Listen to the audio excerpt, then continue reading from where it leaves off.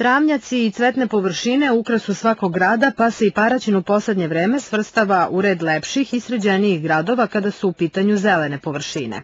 Da one uvek lepo izgledaju, pobrinuli su se radnici iz gradskog zelenila. U toku je prolećno sređivanje zelenih površina u gradu koje obuhvata između ostalog i promenu sadnica. Za prolećni zasad planirano je da se zasadi negde oko 23.000 biljaka.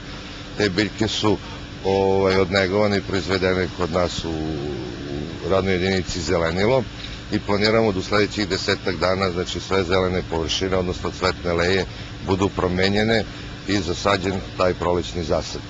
O, paralelno sa tim, o, mi danas imamo potpisivanje ugovora za izradu sistema za navodnjavanje za zelene površine ispred hotela Petrus i ovaj takozvani Gornji park, i ti radovi treba da počnu znači posle potpisivanja ugovora u sledećih nekoliko dana. Osim što menja zasade, komunalno preduzeće jednako je angažovano da sve travnate, odnosno zelene površine u gradu i održava iz nezavisnih sistema za navodnjavanje.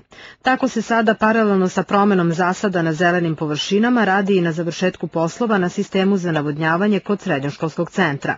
Reč je o prošlogodišnjoj investiciji čiju drugu fazu finansira javno komunalno preduzeće, kaže VD direktor Goran Veselinović, a ta faza obuhvata postavljanje pumpi i elektroinstalacija. Za sve sisteme za navodnjavanje koriste se bunari koje je javno komunalno preduzeće finansiralo bušenje bunara i to su nezavisni sistemi, to znači nema veze ni sa gradskim vodovodom, niti sa vodom koja, koja se inače koristi za pići i za upotrebu u gradu. Po završetku uređenja travnjaka i cvetnih leja ispred zgrade Skupštine opštine radnici gradskog zelenila nastavit će ovaj posao i na ostalim površinama u gradu.